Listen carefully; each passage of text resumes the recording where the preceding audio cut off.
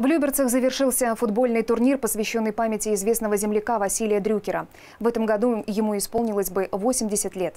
Коронавирус вынудил изменить формат проведения соревнований, но это не отразилось на эмоциях игроков и накале страстей на футбольном поле.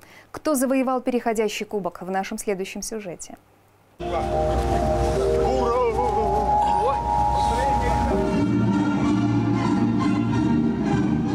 На 15-й турнир, посвященный памяти Василия Дрюкера, приехали далеко не все спортсмены. Многим ветеранам футбола уже за 65, и они соблюдают режим самоизоляции.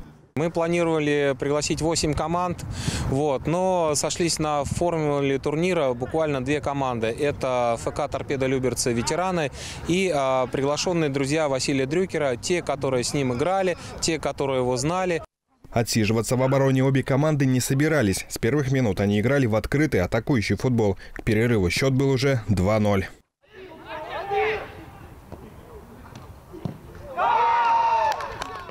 Михаил Христич много раз участвовал в этом турнире. Сейчас за игрой наблюдает со стороны. Подвело колено. Футболист вспоминает, в молодости играл вместе с Василием Дрюкером. И на поле, и за его пределами команда считала центрального нападающего своим лидером. Он создавал ситуации, что команда стремилась через него всю игру. И направлено все атаки были на него. Он очень интересный был в завершении атак в футболе, как вот говорят.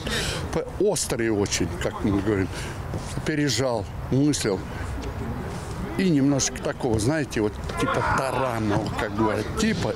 Среди болельщиков сын Василия Дрюкера Дмитрий. В недавнем прошлом тоже футболист. Несмотря на то, что лично знает всех участников турнира, в любой ситуации болеет только за торпеда. Я начал болеть, когда торпед со Спартаком в 1972 году. Торпеда кубок выиграл. Они 0-0 сыграли 1-1, я хорошо помню. И по пенальти 5-1. И вот я стал за торпеда болеть так на всю жизнь. За московской. А потом в Люберецком играл. Для меня торпеда – это торпеда.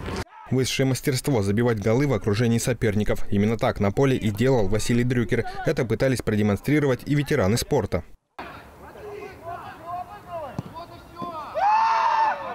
Итог матча 5-1 в пользу друзей Василия Дрюкера. До следующего турнира переходящий кубок будет храниться у этой команды. Через год предстоит нелегкая задача – подтвердить статус чемпиона. В турнире, посвященному памяти Василия Дрюкера, это еще никому не удавалось.